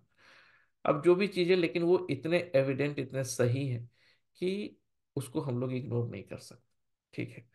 क्योंकि ये कहाँ से आए हैं किसी को नहीं पता तो हम लोग मान के चलते हैं कि भगवान ही लिखे होंगे ओके? और ऋषि मुनीस ये जो है तो जो लास्ट वाला वेदास है और उसी से आ, ये सारे एस्ट्रोलॉजी वास्तु आयुर्वेदा ये सब सब चीज़ आए हुए हैं तो हम लोग उस पर बिलीव कर सकते हैं क्योंकि जो इतने दिन से एग्जिस्ट कर रहा है वो ये चीज़ ओके? तो हमसे पूछता है कोई कि आप क्या ज्योतिष मतलब क्या मतलब पर्पस क्या है ज्योतिष? आप क्यों ऐसा क्यों करते हैं ये? ठीक है। तो मेरे गुरुजी ने एक कहानी सुनाया था, मैं आपको भी सुना देता हूँ। ओके। तो कहने का था कि अगर, उनका कहना था कि अगर आप एक पहाड़ पे बैठे हुए हैं, ठीक है, एक हाइट पे हिल जैसे जगह पे बैठे हुए हैं, उसके आगे खाई है, वैली है। आप बैठे हुए शांत से, अचानक से देखते हैं कि एक अंधा आदमी उधर से आ रहा है और उस पर वॉक करते जा रहा है। आप उसको देख रहे हैं, आप देख रहे हैं कि वो खाई की तरफ़ बढ़ रहा है। कुछ दूर बाद जो है, हो सकता है कि वो खाई में गिर जाए। अगर आप उसको नहीं रोकते हैं तो सबसे ज़्यादा जो पछतावा होगा, सो सबसे ज़्यादा जो गिल्ट होगा या आपको जो जो होगा वो आपको होगा, ना कि अंधे को होगा। क्योंकि अंधा तो अंधा है, उसको तो दिख ही नहीं रहा है। लेकिन आप तो देख सकते थे तो आपको तो एस्ट्रोलॉजर्स, ज्योतिष भी जो है, इसी तरह से होते हैं। कुछ वो अपने स्टडी, तपस्या, जो भी कह साधना से वो देख पाते हैं, समझ पाते हैं, जो इवेंट लाइफ में होने वाले। अब जो लोग नहीं देख पा रहे हैं, उनको बताना। कि आप रुक जाइए गाइड करना। ये हम लोगों का मॉरल ड्यूटी बनता है, ठीक है? तो एस्ट्रोलॉजर का काम है गाइड करना, उसको बताना कि ये सही है, ये गलत है। उसके लाइफ से अटैच होके उसका लाइफ में नहीं बनना। मेरा काम केवल उसको समझाना। अब वो नहीं समझा तो उसके लिए स्ट्रेस भी नहीं लेना है और समझ जाए तो एक्साइटेड भी नहीं, ठीक है? तो अगर आप इस तरह से डिटैच होके काम करेंगे तो कर्मा आपको नहीं बांधेगा। कुछ लोग ये भी कंप्लेन करते हैं कि हम एस्ट्रोलॉजी करते हैं तो मेरे को बैड कर्मा आएगा, क्योंकि हम प्रकृति के नियम में बदलाव लाते हैं, क्योंकि प्रकृति चाहता है कि चीज़ें हिडन रहे और हम उसको रिवील कर रहे हैं। तो वो नहीं है। अगर उस, कोई दुखी है, आपके पास कोई कोई क्यों आता अच्छे समय में कोई एस्ट्रोलॉजर के पास नहीं आता। वो तब आता है जब वो दुखी रहता कभी कभी उसको लगता है कि कहीं से उसका प्रेयर नहीं सुना जा रहा, कोई आदमी मदद नहीं कर रहा, तब वो एक एस्ट्रोलॉजर के पास आता तो ये बहुत ज़िम्मेदारी वाला रोल है, इसलिए मैं सबको समझाता हूँ जो भी मेरे से सीखते हैं कि पहले आप कॉन्फिडेंट इनफ हो जाइए, ओके? हम लोग हंड्रेड चार्ट का टारगेट लेके चलते हैं, जब भी हम लोग कोर्स करते हैं कि एक सौ चार्ट पहले देखेंगे बिफोर जंपिंग इनटू मार्केट, ठीक है?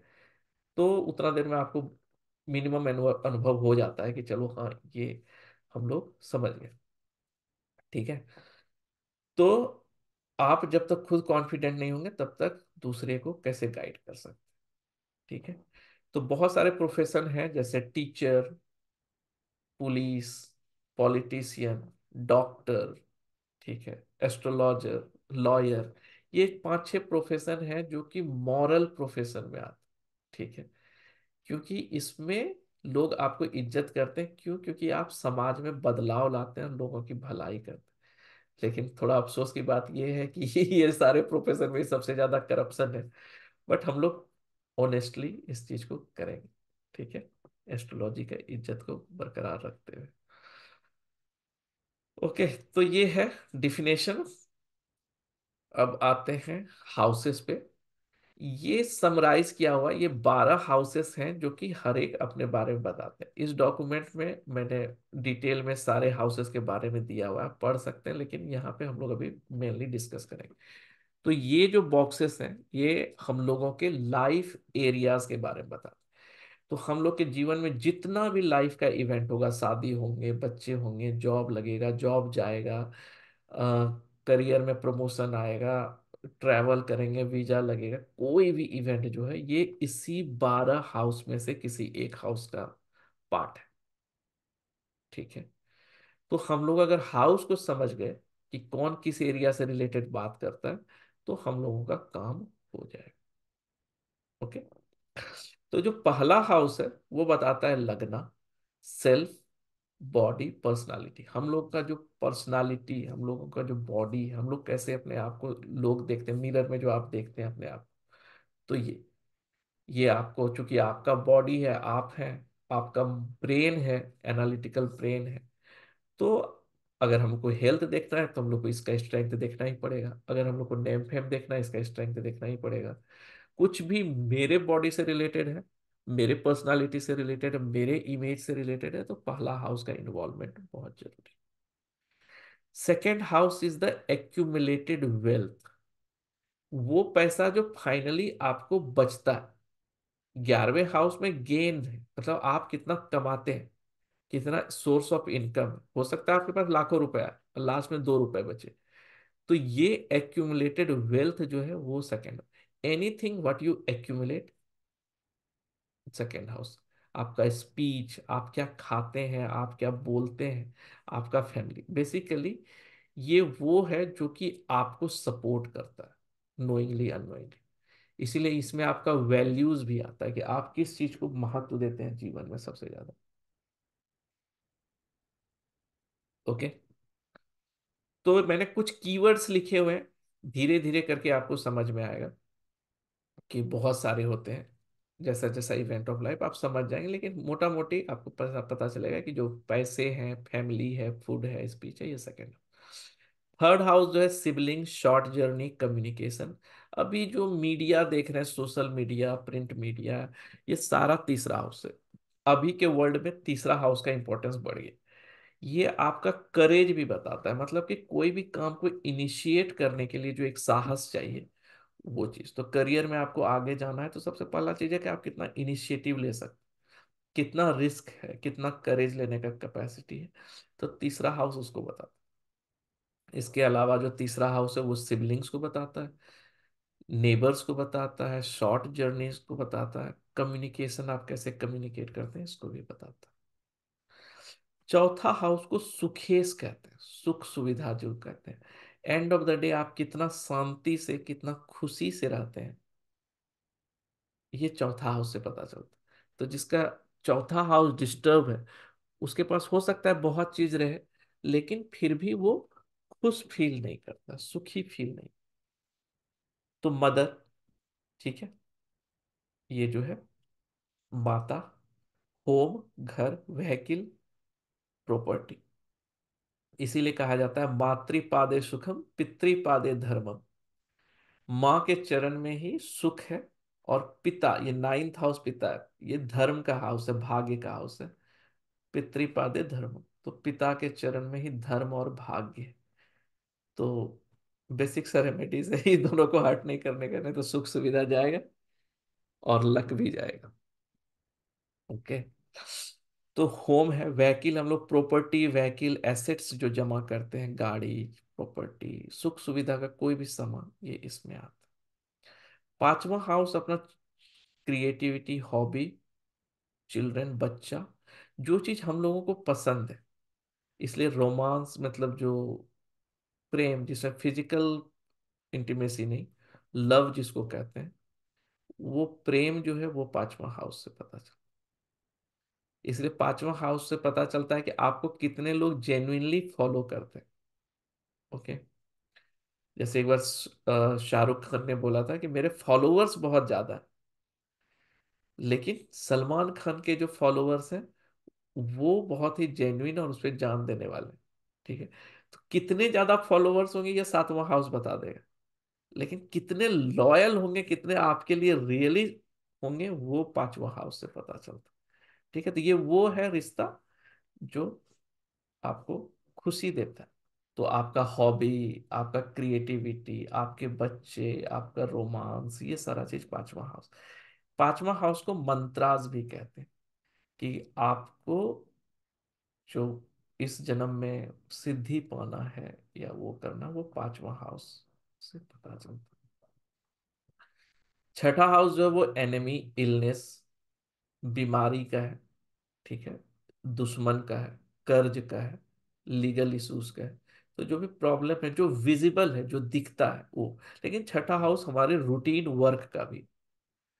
ठीक है कि डे टू डे लाइफ में आप कैसा काम करते हैं मतलब अगर करियर में आपका फाइनल रिज़ल्ट है, नेम, फेम, प्रमोशन आपका फाइनल रिज़ल्ट है तो ये बताता है कि डे टू डे लाइफ में आप कैसा काम करते हैं।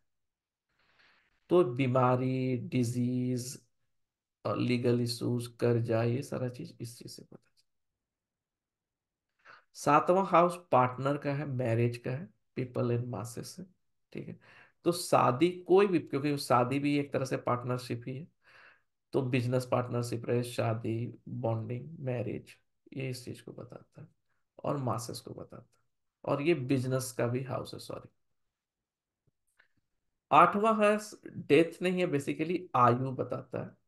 कि आप कितने दिन बचेंगे।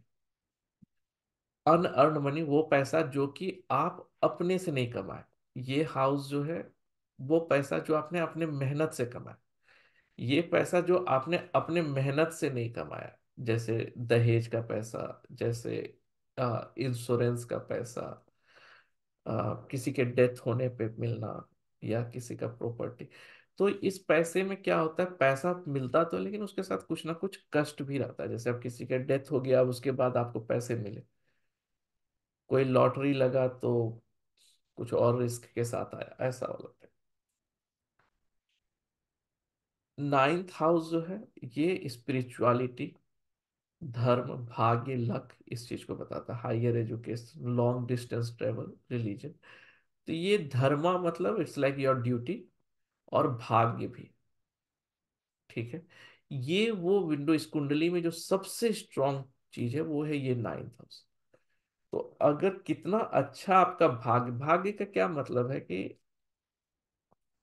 अभी भूख लगी, अभी आपको खाना मिल गया तो कहेंगे कि नहीं, चलो ठीक है।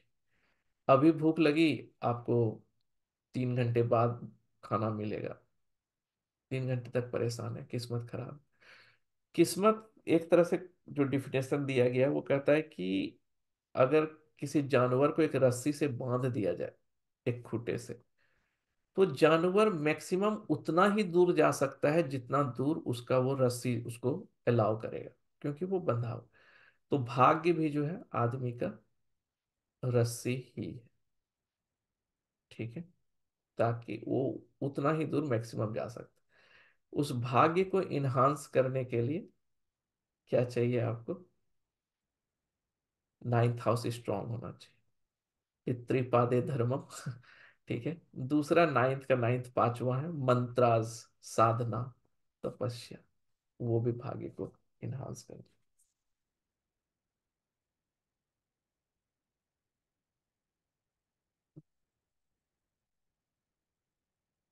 ठीक है।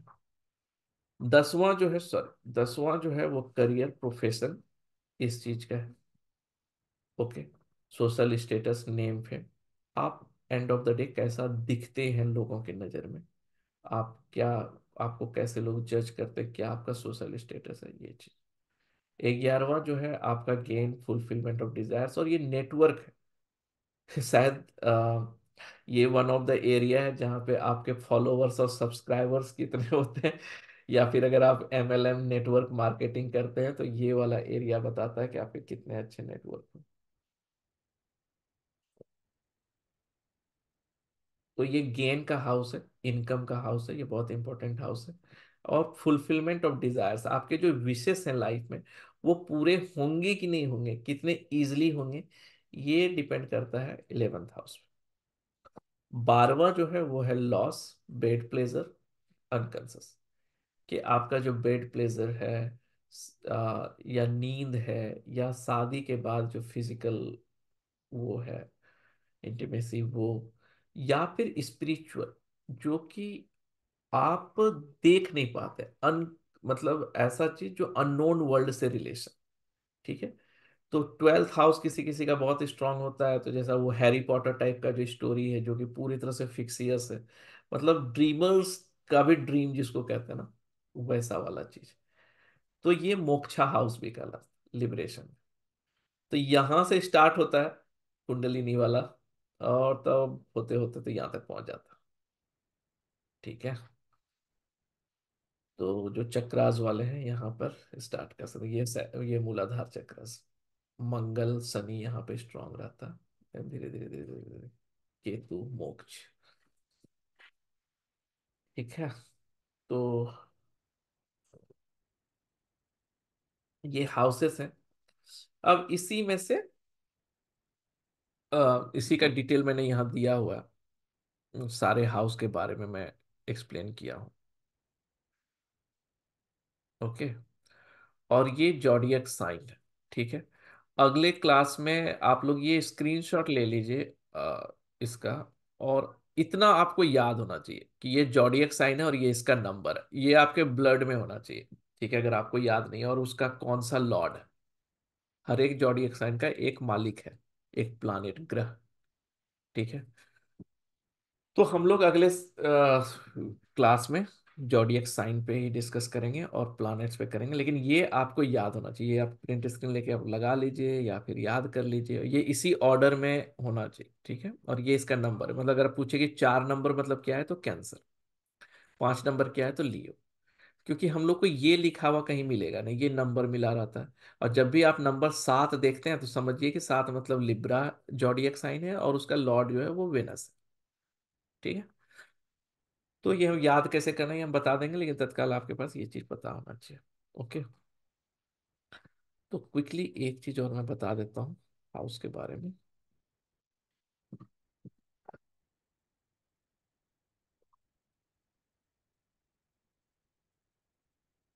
तो ये अगर आप गौर से देखेंगे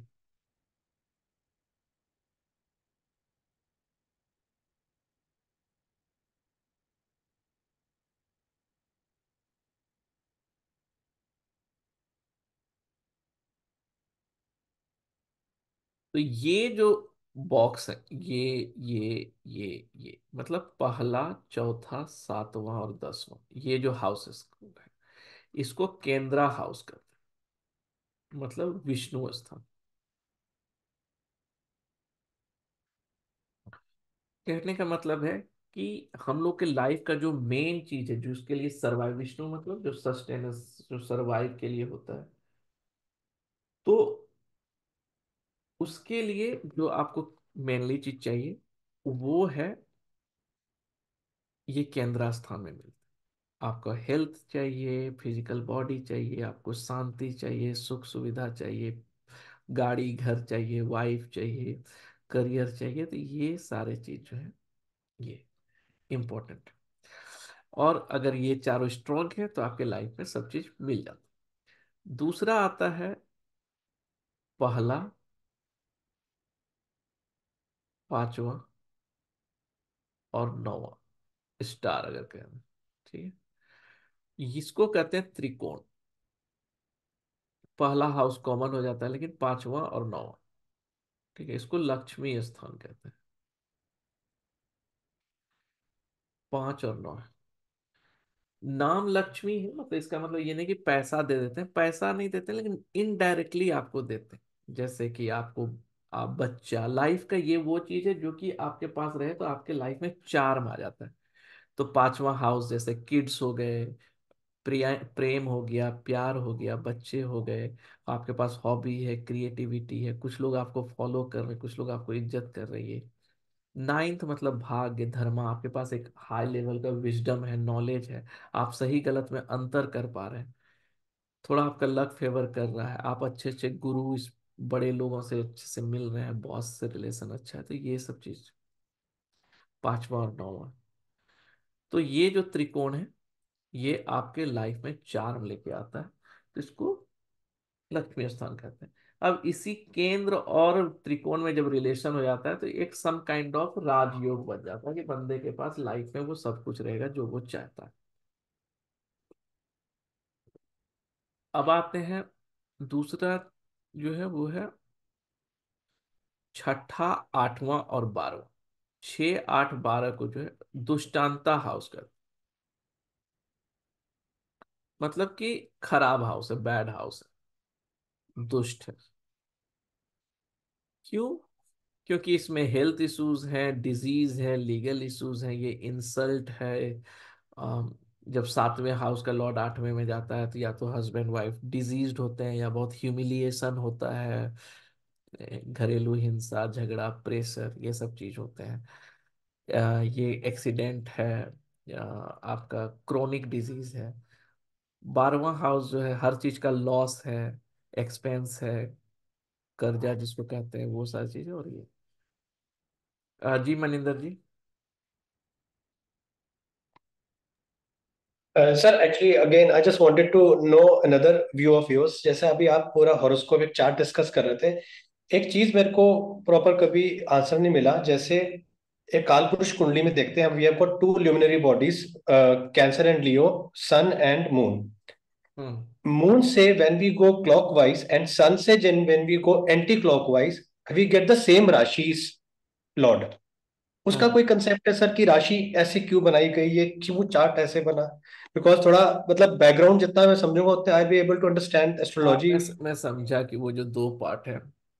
जी मतलब अगर आप जोडियक साइन का डिवीज़न जब अगली क्लास में बताएँगे तो मैं आपको एक्सप्लेन करूँगा ठीक है? ओके वो उस, उस तरह से क्यों बनाया गया। ओके आप बहुत अच्छा क्वेश्चन आप पूछते हैं मतलब हम जानना चाहिए ये चीज़। नहीं नहीं sir thank you actually sir मैं बस थोड़ा सा समझना चाह रहा हूँ कि चीज़ें बनी कैसे तो I be able to understand the predictive part better जी जी जी जी। तो ये जॉडियक साइन जो है राशियाँ जो है ये सन और मून का ही चक्कर है और सन एंड मून और राहु केतु का चक्कर है वो मैं सारा मैंने पकड़ा हुआ है। बस मैं ये समझता हूँ कि क्यों उसको क्लॉकवाइज और एंटी क्लॉकवाइज सेम ही राशियाँ दी गई हैं सेम ही हाउस लॉर्ड वाली राशियाँ।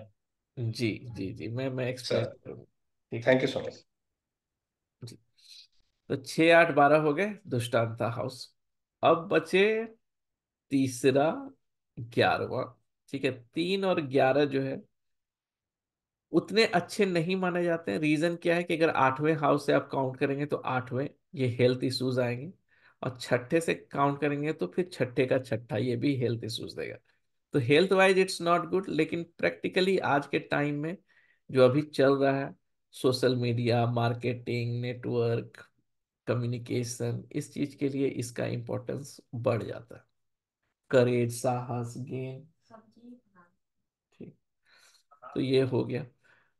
अब बचा दूसरा हाउस।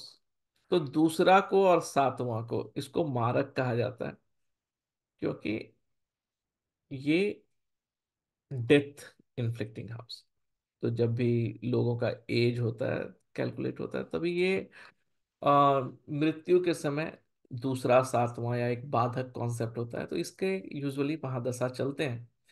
तो जिसके कारण जो है आ, इसको मारक कहते हैं। लेकिन अगर आप साधु, क्योंकि जो लिखे हुए हैं ये सारे एस्ट्रोलॉजी, वो लोग तो साधु लोग ही थे। तो उनके नज़र से अगर आप देखें तो अगर आप स्पिरिचुअल ग्रोथ चाहते हैं तो जो सबसे ज़्यादा जो आपको पकड़ करके रखता है, ठीक है, वो सेवंथ हाउस का चीज़ है या सेकेंड हाउस का चीज़ है। मतलब accumulation of wealth family attachment सबसे ज़्यादा वहाँ पे रहता है। तो वो उसके ग्रोथ में ये है तो उस सेंस से भी ये मारक है। सातवां हाउस, स्पाउस, बिज़नेस, पार्टनर्स, ठीक है? तो वहाँ पे भी अटैचमेंट रहता है तो वो भी आपको ब्लॉक करता है डिप्रेशन से, उस नज़र से भी ये मारक बट आयु निकालने में ये है, बट अदरवाइज़ सेकेंड हाउस जो है, एक्यूमुलेशन ऑफ़ वेल्थ और पैसे के लिए तो ऐसा ऐसा कोई दिक्कत नहीं, ठीक है? बाकी जो तीसरा, छठा, दसवां, ग्यारहवां हम बताए, वो उपाचय हाउस है।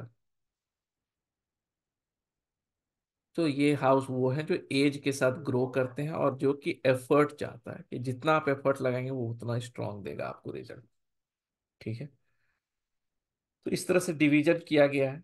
अब मैंने एक वीडियो भी बनाया कि कैसे लॉजिकल डिवीज़न है कि हर हाउस पिछले हाउस का देखेंगे तो लॉस है। ठीक है? तो मतलब नाइन्थ हाउस जो है करियर का लॉस अगर आप टू मच स्पिरिचुअल बनेंगे तो करियर को इम्पैक्ट करेगा। ऐसे करके मतलब ये चीज़ें, ठीक है। तो हर एक का जो है तो वो मैं शेयर कर दूँगा वो वीडियो भी। तो आप देखेंगे तो समझेंगे कि कैसे डिवीज़न है। बट मोटा मोटी जो है, आपको ये समझना है कि हर एक हाउस का की फैक्टर्स क्या है, याद करने के लिए। उतना डिटेल में नहीं जाना, क्योंकि मैं टीचर हूँ, मेरा काम है बताना तो मैंने बहुत ज़्यादा बता दिया। बट आपको अभी तत्काल के लिए ये समझना है, अगर मैं नट सेल में बोलूँ तो हम लोगों के लिए लाइफ के इवेंट्स हैं। ठीक है, सबसे पहला क्या होता है? एजुकेशन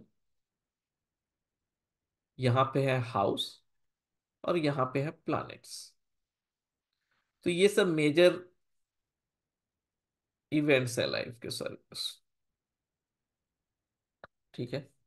तो एजुकेशन के लिए हाउस है फोर्थ प्लानेट है मरकरी एजुकेशन के बाद हो जाता है करियर हाउस है सिक्स टेंथ प्लानेट है सैटर्न उसके शादी हो जाती है।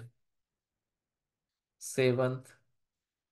और भी हाउस सपोर्ट करते हैं, लेकिन मैं मेजर मेन हाउस लिख रहा हूँ। प्लानेट है लड़के के चार्ट में वेनस लड़की के चार्ट में मार्स दूसरा रोजनी। ठीक है। फिफ्थ, चाइल्ड बर्थ जिसको कहते हैं जुपिटर सन केतु भी रेस्पॉन्सिबल उसके बाद आता है ट्रैवल नाइन्थ इसके लिए मून राहु, ये सब इम्पोर्टेंट फिर आता है अपना शादी हो गया, बच्चे हो गए जॉब हो गया करियर हो गया, पैसा सेकेंड इलेवन वेनस। और सब प्लैनेट सपोर्ट करते फिर आते हैं एक, दो, तीन, चार, पाँच छ और क्या बचे? ट्रैवल हो गए लिटिगेशन लिटिगेशन के लिए हो गया सिक्स हाउस इधर राहु, मरकरी, ये सब। फिर आते हैं और इवेंट्स कौन से हैं? Longevity property property fourth Mars Mercury फिर आते हैं व्हीकिल ये फिर से फोर्थ वेनस ओके फिर आता है अपना इवेंट कौन सा? लॉन्जिविटी तो इसके लिए एट्थ हाउस और यहाँ पे है सैटर्न ठीक है तो ये सारे इवेंट्स हैं लाइफ के मेनली तो हम लोग एक एक इवेंट्स को पकड़ेंगे। उसके बाद उससे रिलेटेड कैसे करियर और एजुकेशन डिसाइड करना है अच्छा रहेगा, खराब रहेगा, कौन से हाउस को देखना है, कौन से प्लानिट को देखना, फिर हम लोग देखेंगे और फिर डिस्कस करेंगे। ओके ओके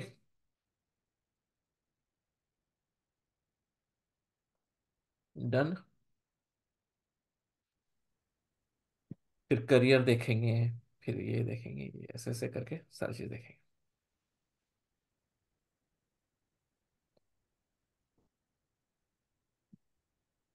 और अगर आप एक मिनट और दें तो मैं आपको क्विकली दिखा दूँ।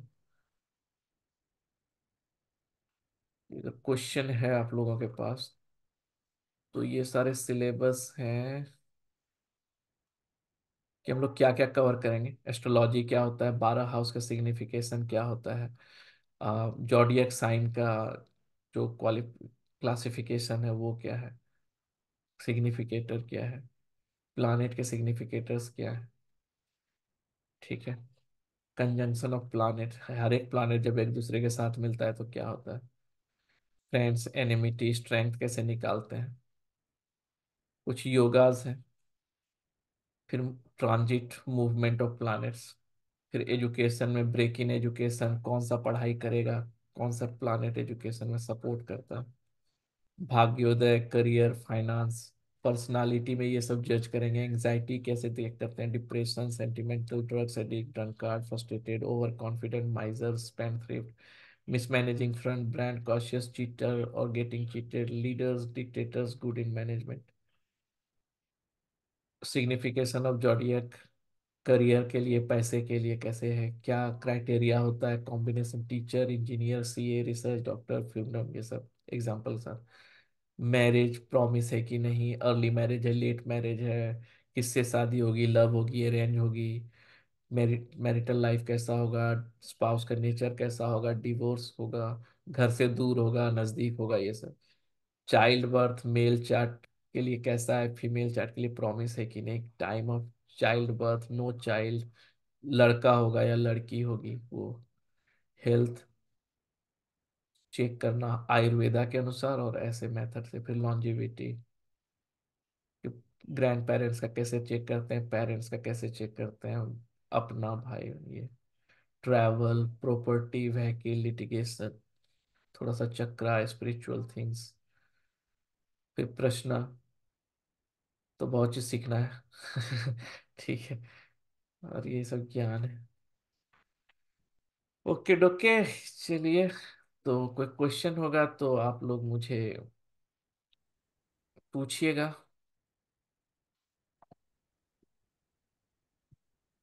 और कोई क्वेश्चन है तो पूछिए।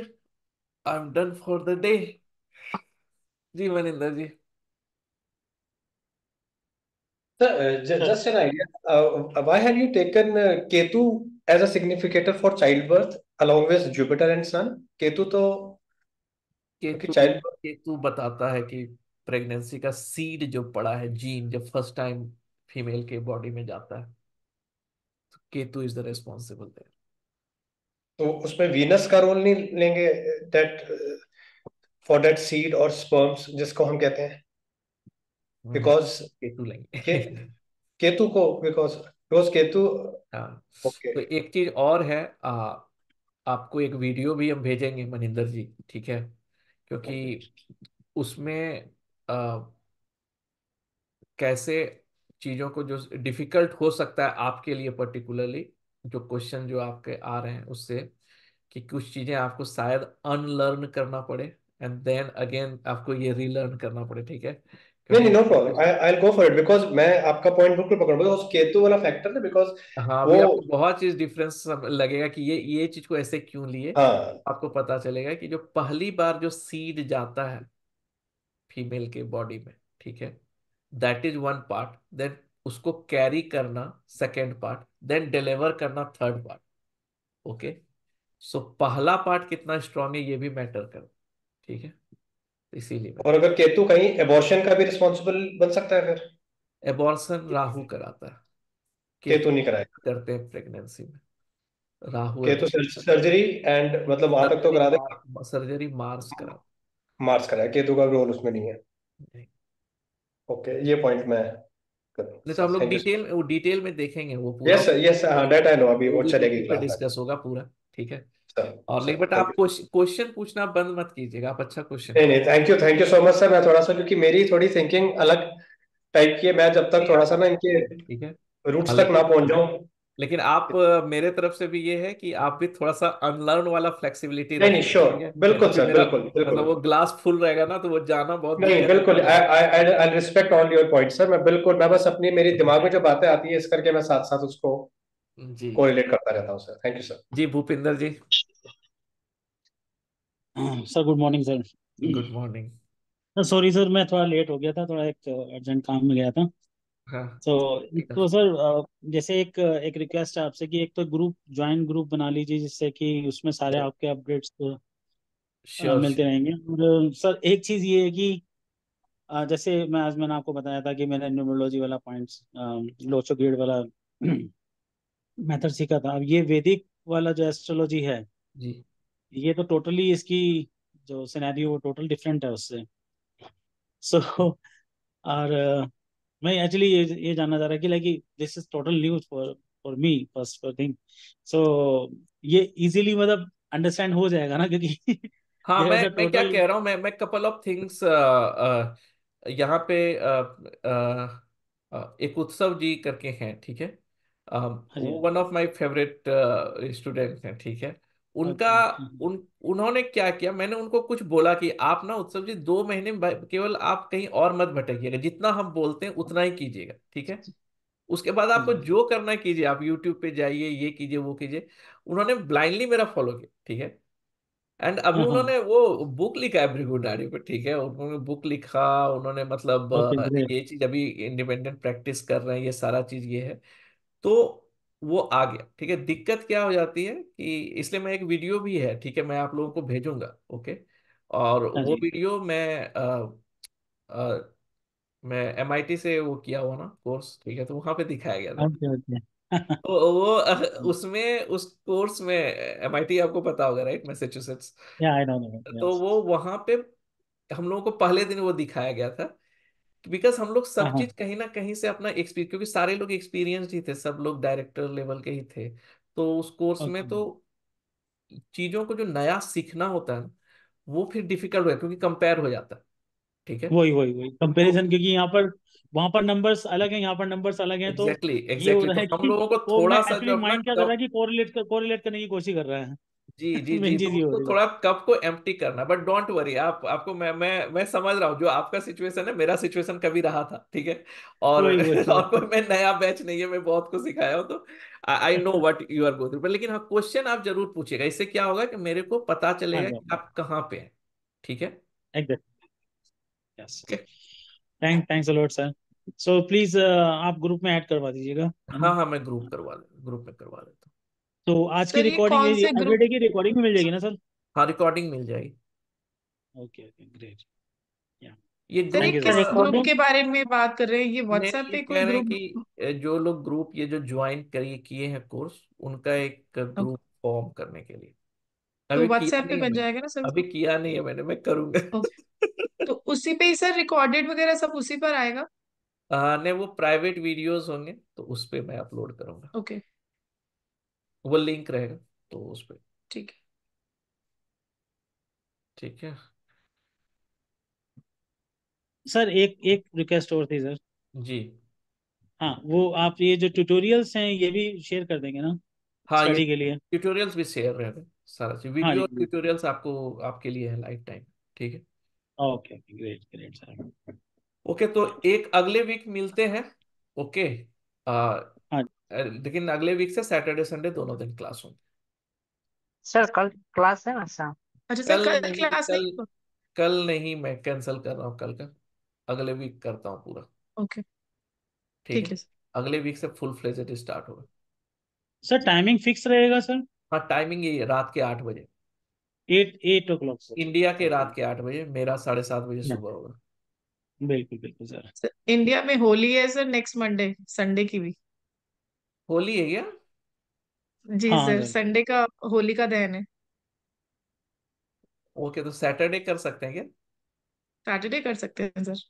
ठीक है सैटरडे करेंगे संडे तब नहीं करेंगे क्योंकि तब मेरे को भी यहाँ पे शायद कहीं जाना होगा अगर ये होली है तो। ओ यस। जी जी मंडे की होली है और संडे का होली का दहन। हाँ ओके ओके। ठीक है स, स, हाँ तब तो ठीक है तब तो सैटरडे करते हैं। ओके। ठीक है सर। तो अगले वीक हम लोग जॉडियक साइन सीखेंगे ठीक है? बहुत ही इंपॉर्टेंट चीज़ है और प्लानिट को भी कवर करेंगे। कुछ मैं आप लोगों को अ, मैं भेजूँगा डॉक्यूमेंट्स आप लोग पढ़िएगा ठीक है? यस सर एक एक बार मेरा क्या कहना है एक बार आपको आइडिया लग गया ना कि प्लैनेट्स क्या है जॉडियक साइन क्या है एस्पेक्ट्स क्या है उसके बाद फिर वो ऐसे ऐसे वाला चीज़ है ठीक है?